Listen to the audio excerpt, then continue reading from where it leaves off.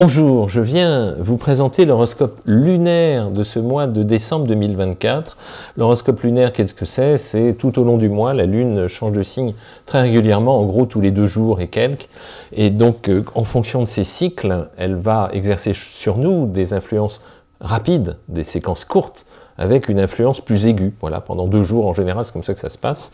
Et c'est ce que je vais vous indiquer tout au long du mois. Et en, pour commencer, il y a cette mois-ci cinq éléments marquants en préambule. Comme ça, ça vous donnera les grandes tendances, on va dire, centrales du mois. Il y a euh, une nouvelle lune en début et en fin de mois. Il y en a deux ce mois-ci, vous allez voir une pleine lune bien évidemment, et deux carrés soleil-lune qui sont des influences qui s'apparentent à la pleine lune. Je vais rentrer dans le détail. Alors, la première se réalise vendredi 1er décembre. Je vous ai fait une vidéo dédiée, elle doit être à côté, euh, vous n'aurez pas de mal à la trouver sur la chaîne. Donc une nouvelle lune, c'est une conjonction entre le soleil et la lune, c'est-à-dire quand on regarde le ciel, le soleil et la lune sont dans le même axe. Elle va se situé très précisément à 7h23 et à 9, 9-10 degrés du Sagittaire. Donc une nouvelle lune, c'est un nouveau cycle d'un mois qui démarre, c'est plutôt positif pour mes signes de feu, hein, si c'est en Sagittaire, il y a de l'optimisme, il y a de la vie, il y a de l'impatience aussi, mais il y, a, il y a la pêche. Donc on sait durant ces périodes-là que euh, la lune est bonne pour mes signes de feu, on tonifie un cycle d'un mois, euh, pour mes béliers, mes lions, mes sagittaires, hein, et puis euh, excellent aussi pour mes versos, mes balances, 60 degrés. Je vous aurai le détail de ce qui peut être un peu plus agaçant sur ma vidéo dédiée. Après, le, deuxième mécanique, la deuxième mécanique spécifique au cours du mois se réalise dimanche 8 décembre, où vous aurez ce qu'on appelle un carré soleil-lune, avec un soleil qui sera à 17 degrés du Sagittaire, au carré, donc demi-opposition, hein, 80 degrés, donc élément de tension, avec euh, la lune qui sera à 17 degrés des poissons. Ça se passera dimanche 8 euh, décembre à 16h28. Donc dans ces cas-là, euh, elle va réveiller quand même ce carré soleil-lune. Il est un peu subtil dimanche 8 euh, décembre, parce qu'il va réveiller euh, Soleil Sagittaire opposé Jupiter Gémeaux, euh, lune poisson conjoint Saturne. Donc il y a toute une sorte de synergie entre le Soleil, la Lune, Jupiter et Saturne, qui sont des angles un petit peu tendus. Donc surtout, encore une fois, si vous avez des planètes en deuxième décan Sagittaire, bon, moins concerné, euh, deuxième décan Gémeaux, deuxième décan Poisson, deuxième décan Vierge, la journée de dimanche, elle risque d'être un peu sensible. Voilà, rien de bien grave, un peu de fatigue et d'agacement, c'est ce qu'il faut en retenir. Voilà, tout simplement. Après, troisième élément important, ça va être la pleine lune qui va se réaliser dans le ciel dimanche 15 décembre une pleine lune à 24 degrés des Gémeaux pour la Lune, donc 24 degrés du Sagittaire pour le Soleil, à 10h03 euh, minutes, pleine lune. Alors là, elle va réactiver Neptune. Alors donc l'hyperréceptivité sera marquée, surtout si vous avez des éléments planétaires, euh, troisième décan Vierge, Sagittaire, Gémeaux, Poisson, vous serez certainement plus réceptif à l'occasion de cette pleine lune que vous l'êtes d'habitude tout simplement. Donc dans la nuit du samedi 14 au dimanche 15, si on dort pas terrible, hein, c'est un peu normal, c'est une pleine lune, comme il y en a une tous les mois.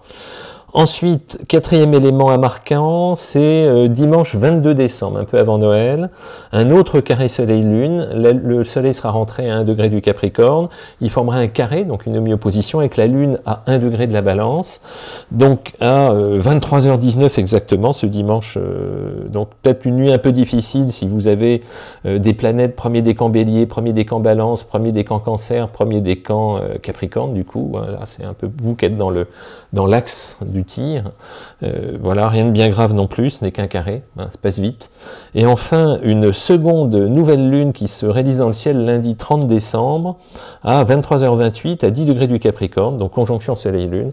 Très positif pour mes signes de terre cette fois-ci, chacun son tour. Hein. Mes taureaux, mes vierges, mes capricornes, mais également mes poissons, mes scorpions. C'est un nouveau cycle pour vous qui démarre. Je vous ferai une vidéo dédiée à ce moment-là, euh, vous inquiétez pas, c'est prévu dans mes tablettes.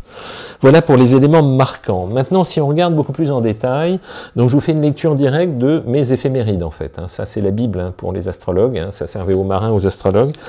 Si je vous la refais parce que je l'aime bien, euh, si les marins n'avaient pas eu tables pour leur permettre de calculer la latitude des planètes euh, avant qu'il y ait l'apparition du GPS, ils servaient pas mal de ça. Aucun bateau ne serait arrivé à bon port pendant 100 ans. Donc heureusement qu'on avait ces données-là. 嗯。Et elles sont précieuses et elles me servent encore, moi, tous les jours. J'ai le nez plongé dans mes éphémérides à longueur de journée, dès que j'ai un truc à regarder. Alors, comment ça démarre? La Lune étant Sagittaire, je vous disais, elle y reste le 1er décembre, elle irait jusqu'au 2. Je ne vais pas vous donner les... Ça m'oblige à regarder à chaque fois, regarder les jours et les mois. Donc, jusqu'au 2 à 22h10, elle sera en Sagittaire. Le 2 à 22h10, elle passe en Capricorne. Donc, quand elle est en Sagittaire, vous l'avez vu, elle est bonne pour mes signes de feu, hein, Bélier, Lion, Sagittaire. Et euh, elle fatigue mes Gémeaux, mes Vierges et mes... Euh, poissons, tout simplement. Euh, en revanche, elle est aussi bonne pour mes balances et mes versos quand elle est en Sagittaire. Voilà. À partir du 2, 22h10, elle rentre en Capricorne, et en Capricorne, elle est bonne pour mes signes de terre, cette fois-ci au niveau du moral. Donc très bon pour mes Capricornes, mes Vierges, mes Taureaux, mais également mes Poissons et mes Scorpions. Et en revanche, dès qu'elle est en Capricorne, elle fatigue mes Cancers, mes Balances et mes Béliers. C'est un tour de rôle. Ensuite, elle rentre en Verseau le 5 à 5h22. Le 5 à 5h22, elle sera en Verseau. Et en Verseau, elle est bonne pour mes signes d'air cette fois-ci. Donc bon moral pour mes Verseaux, mes Gémeaux, mes Balances, mes, mes Sagittaires et mes Béliers. Pour vous, c'est bon. En revanche, elle fatigue ben, mes Taureaux, euh, mes lions en face et mes, et mes, carrés, mes scorpions. Voilà, vous trois. C'est pas toujours terrible quand la Lune est en verso. Ensuite, le 6 sera marche rétrograde. Je vous ai fait un truc sur le sujet, donc je vais pas revenir dessus maintenant. La euh, Lune passera en poisson le 7 le 7 à 10h50, euh, quand la Lune rentre en poisson, elle apporte des très belles énergies en matière de sensibilité pour mes poissons, mes cancers, mes scorpions, mes taureaux et mes capricornes. Voilà. En revanche, en poisson, elle fatigue, vous le savez, mes gémeaux, mes vierges et mes sagittaires. Ensuite, elle va rentrer en bélier, ça sera le 9 à 14h39 minutes. Lune en bélier, c'est la pêche. En général, les lunes béliers que j'ai connues, c'est des profils, ils peuvent pas rester une heure sur le canapé, c'est pas possible. Hein. Il y a toujours un truc à faire. Et puis, quand c'est autour d'eux, il y a des gens mous, ils les secouent, ils disent mais, remue-toi, tu faut pas se laisser aller. Euh, c'est un vaccin antidéprime extra les lunes en bélier. Bref, c'est la pêche, mais c'est l'impatience aussi. Donc très belle énergie tonique pour mes béliers, mes lions, mes sagittaires, mais également pour mes versos, mes gémeaux. En revanche, peut-être un peu d'agacement pour euh, mes cancers, mes balances et mes capricornes. Ensuite, la Lune passera en taureau le 11 à 16h56. Quand la Lune passe en taureau, elle, apporte des belles énergies de charme, de douceur, d'apaisement et de capacité à profiter des bonnes choses de la vie, mais dans le calme, hein, Lune en taureau. Très bon pour mes taureaux, mes vierges, mes capricornes, mes poissons, mes cancers. En revanche, peut-être un peu d'agacement pour mes versos, mes scorpions et mes lions. Ça tourne, c'est à tour de rôle. On était à la Lune en taureau, elle passera en gémeaux le 13 à 18h23. Le 13 à 18h23, la Lune passe en Gémeaux, et en Gémeaux, elle apporte beaucoup d'esprit, beaucoup de sens de l'humour, un côté clown, Lune en Gémeaux, pour mes Gémeaux, mes Balances, mes Verseaux, mais également pour mes Béliers et mes Lions. En revanche, en Gémeaux, elle fatigue mes Poissons, mes Vierges et mes Sagittaires. Ensuite, elle passera en Cancer le 15 décembre à 20h22. Le 15 décembre à 20h22, en rentrant en cancer, elle apporte beaucoup de délicatesse et de douceur à mes cancers, mes scorpions, mes poissons, mais et également en cancer à mes taureaux et mes vierges. Mais elle fatigue un peu mes capricornes, mes béliers et mes balances, parce qu'elle forme avec vous, encore une fois, des angles un peu tendus. Ensuite, la Lune passe en Lion le 17 à, ben, le 17 à 23h40 en temps sidéral, ça veut dire le 18 à 0h40. Le 18 à 0h40, la Lune entre en Lion, et en lion, elle apporte belle, belle énergie à mes béliers, mes lions, mes sagittaires, mes balances et mes gémeaux. Mais en revanche, elle fatigue mes versos, mes taureaux, mes scorpions. Ensuite, elle passera en vierge le 20 décembre à 8h38. En vierge, elle apporte de belles énergies à mes vierges, hein, ça percute vite à ce moment-là mes vierges, très bon pour mes capricornes, mes taureaux, mes cancers, mes scorpions, mais lorsque la lune est en vierge, elle fatigue, mes Gémeaux, mes Sagittaires, ou agace, mes Poissons. Voilà, comme ça, chacun son tour. Ensuite, elle passera en balance, ma lune, normalement. Elle passera en balance le 22 décembre à 20h09 minutes. 22 décembre, 20h09 minutes, elle rentre en balance. Beaucoup de charme pour mes balances, mes versos, mes gémeaux, mes lions et mes sagittaires. En revanche, un peu d'agacement pour mes béliers, mes capricornes et mes cancers. Et enfin, elle passera le 25 en scorpion, mais pour Noël, euh, on est dedans. Donc le 25, c'est le lendemain, 9h07 du matin, elle passera en scorpion. En scorpion, ah, bon, qu'est-ce que je veux en dire? En scorpion, elle apporte de très belles énergies à mes scorpions, à mes, à mes poissons, à mes cancers, à mes capricornes et à mes vierges. Mais elle risque d'agacer un tout petit peu, le 25, ceux qui ont des planètes en taureau, ceux qui ont des planètes en verso et des planètes en lion. Voilà. C'est tout simplement ça. Ensuite, elle passera en Sagittaire, où elle retrouve son optimisme et sa pêche.